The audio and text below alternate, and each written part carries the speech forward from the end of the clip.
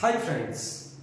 So this is a question being asked from Unit and Dimension chapter in 2024-27 January. So it's shift one question actually. Today there are two shifts exam in IDJ main.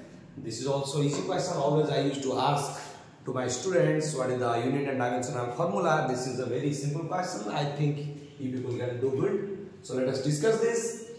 Statement 1. Planck constant and angular momentum have same dimensions. Statement 2. Linear momentum and moment of inertia, moment of force have same dimension. Then we will check whether both the statements are correct. One is correct, two is incorrect. One is incorrect, two is correct or both the statements are incorrect. So let us discuss the dimensional formula of statement 1. That is Planck's constant. So you know Planck's constant formula you know E is equal to h nu. E is energy, h is Planck's constant, nu is frequency.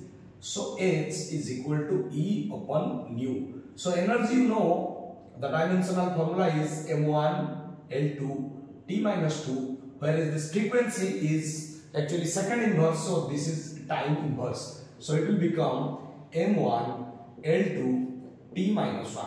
This is the dimensional formula of Planck's constant. Now what is the dimensional formula of angular momentum? Angular momentum L is equal to R cross P. So let's say RP, R is your distance, distance is L, P is mass into velocity. So for mass I can take M and for velocity, actually P is mass into velocity. So for velocity I can take L1 T minus 1. So that will be again M1 L2 T minus 1.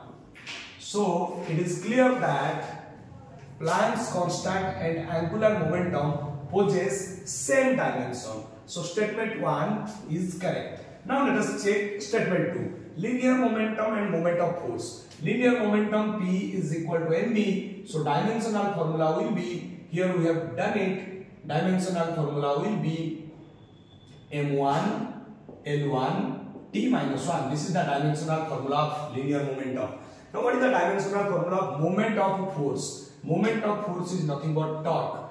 Torque is equal to radius into force. So radius is L1, force is M1, L1, T minus 2. So it will be M1, L2, T minus 2. So it is clear that linear momentum is dimensional formula M1, L1, T minus 1 whereas torque is dimensional formula M1, L2, T minus 2. So they are not same.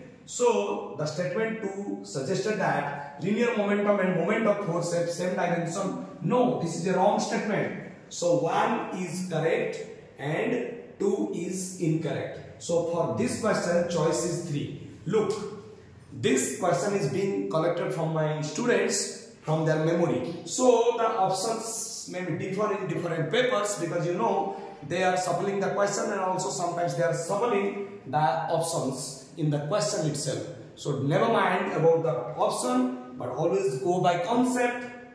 Check it because you know there are 30 questions in one hour in IDJ, uh, IDJE main exam. So 30 questions in one hour means there are huge time. So you can go slowly, make it correct. Accuracy is important in JEE main. Thank you for watching this video. Watch, like, share and subscribe and ask your doubt in my comment sections. All the best, all the best to all my viewers who are preparing for the next main exam. Thank you.